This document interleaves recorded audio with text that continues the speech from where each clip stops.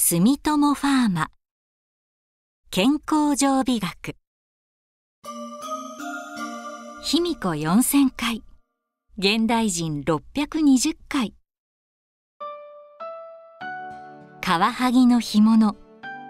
くるみ。栗餅玄米のおこわ。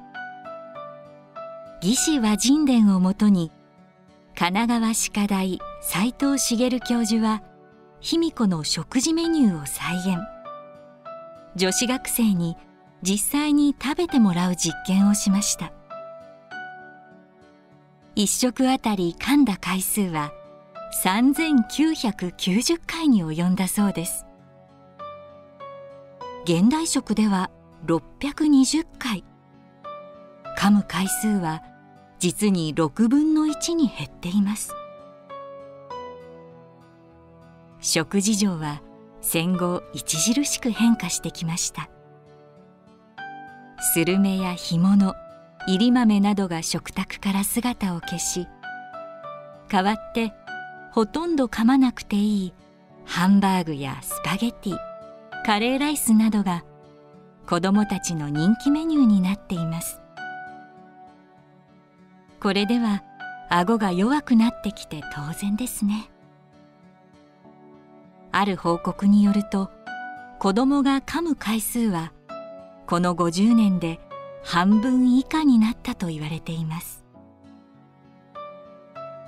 噛む回数を増やすには例えば料理の工夫。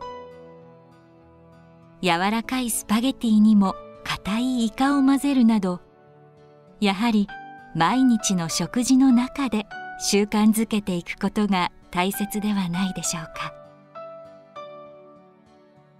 一口30回が一つの目安。一食あたりおよそ1500回を目標にしてみましょう。では最後に噛むとどう体にいいのか。脳の刺激になる。歯並びが良くなる。食べ物の消化を助け栄養の吸収も良くなる。表情が良くなる。といいことばかり。そして何よりおいしく食べることができる。今更言うまでもありませんが。